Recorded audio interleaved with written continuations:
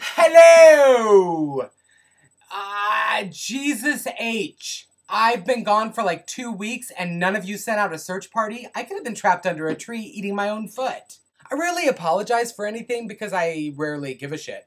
But I feel like I have to apologize for the beat up Mountain Dew cap. What do you. Oh. What?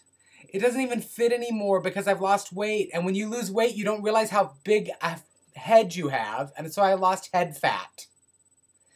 And so it doesn't fit. It's just kind of sitting on top of there, covering up hair that is like 10 kinds of messed up. So yeah, that's not, yeah.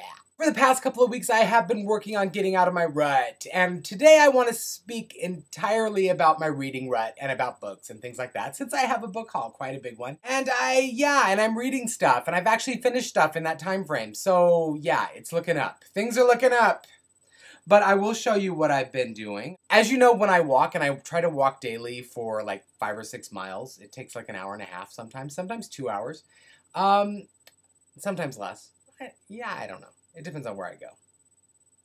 But I always listen to an audiobook while I'm walking. This time I'm listening to Stephen King's nonfiction take on the horror genre, uh, Danse Macabre. Yeah, so, and it's kind of, it's really been very helpful in um, helping with the writing rut. On my Nook, I'm reading Chuck Wendig's Blackbirds, which is a really sort of irreverent and dark and gloomy take on the urban fantasy genre um, about someone who can see people's deaths and yeah, it's creepy. I've been reading a lot of graphic novels. In fact, I just finished um, Locke and Key Head Games, which is volume two in the Locke and Key series by Joe Hill, uh, Stephen King's son, by the way. It's like I'm keeping it in the family today. And art by Gabriel Rodriguez. This is a really fun series if you haven't read it uh, about a a family that's coming to terms with their father's death and they move to his childhood home which is called key house and there's lots of keys everywhere that do really weird things like turn people into ghosts and open up their heads so you can put things in and out of them It's just bizarre stuff and the art is really great and i'm, I'm really enjoying it. i'm in between books on that one so i picked up because i always like i like graphic novels at night like when i'm about to go to bed i find I'm reading um, Mike Carey's The Unwritten, uh, artwork by Peter Gross, and yeah, this is pretty fantastic take on like fantasy, um, sort of fantasy books, uh, literature, uh, the fantasy of words themselves. It's kind of it's bizarre and I'm really enjoying that. I'm just getting into that right now. I have other stuff that I'm reading and that I had to put on the back burner, but I really need to get to quickly because I've you know I've got some NetGalley books that are going to drop off and not be available on my Nook anymore, and I I definitely want to get to finish Struck by Jen Bosworth and yeah, and um, Shadow and Bone by Leigh Bardugo. I'm I'm at a loss. I've got to get some stuff done. But in the meantime, of course, I couldn't possibly not buy a whole bunch of books. In the last couple of weeks, um, my sisters from the Harbingers of Doom slash Class of 2K12 slash Apocalypsies had some launch parties in my local area, and since we're all buds, I made sure to attend both of them.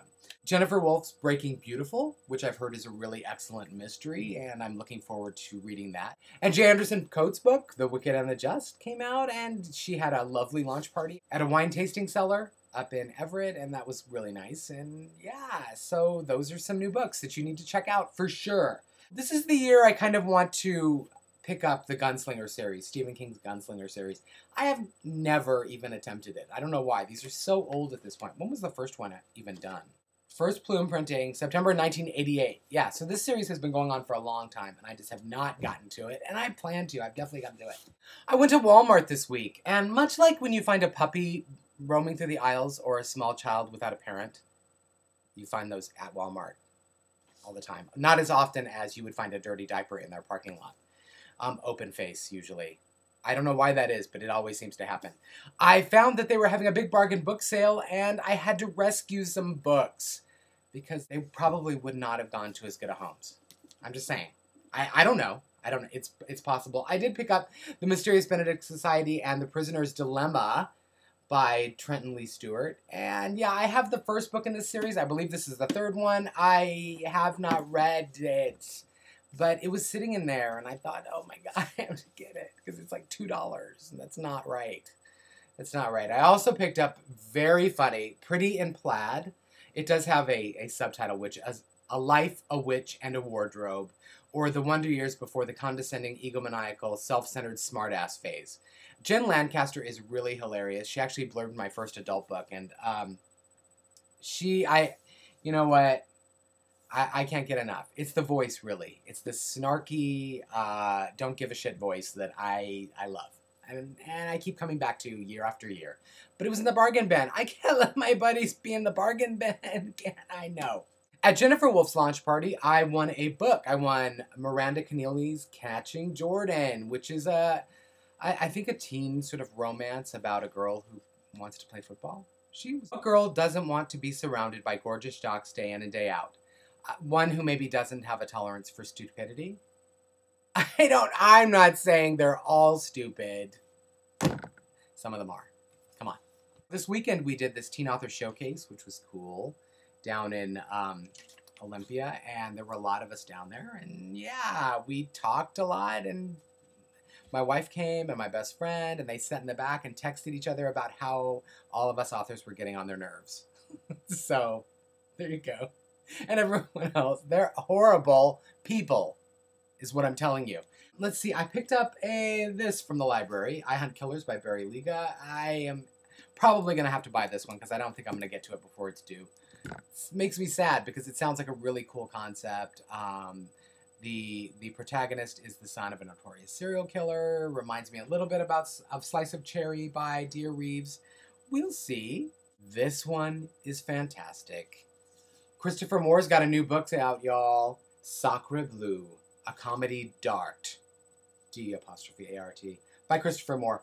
This book is beautiful. This is actually the dust jacket right here. Just This book is beautifully designed. This is actually one of those hard shell covers. The, um, the cover looks a little Art Deco like Toulouse-Lautrec. It's all about the French art movement and oh, it's got a beautiful like Parisian map inside and all in color. Insanely nice. Deckled edges. Um, lots of blue ink on the inside. In fact, the entire thing is written in blue.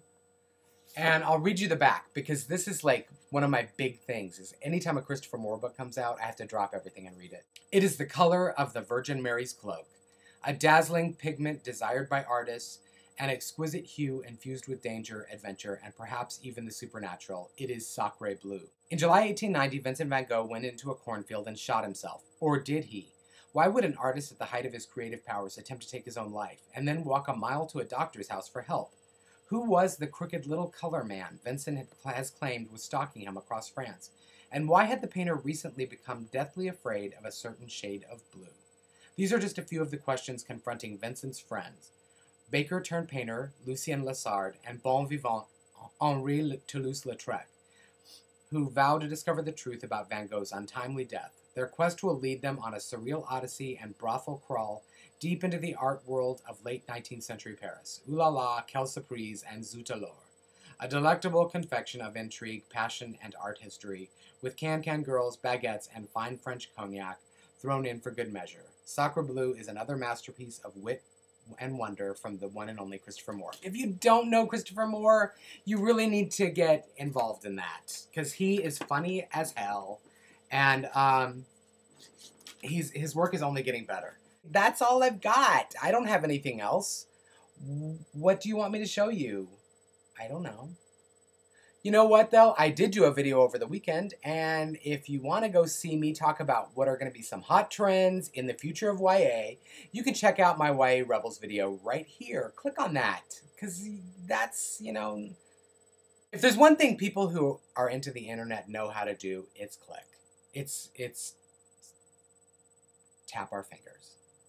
That's what we do. But click there. It's very short. It's very short, and I'm, I'm kind of funny. Probably. Probably much more funny than this one. So there you go. That's it. Ah.